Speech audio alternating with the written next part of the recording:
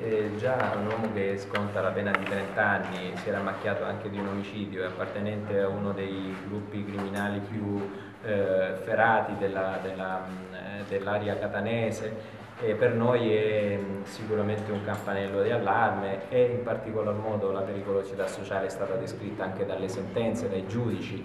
e infatti quando a Catania noi siamo arrivati eh, chiedendo di avviare un'attività tecnica, la Procura Generale e la distrettuale antimafia immediatamente hanno attivato i canali tecnici per la DIA al fine di raggiungere immediata cattura del soggetto.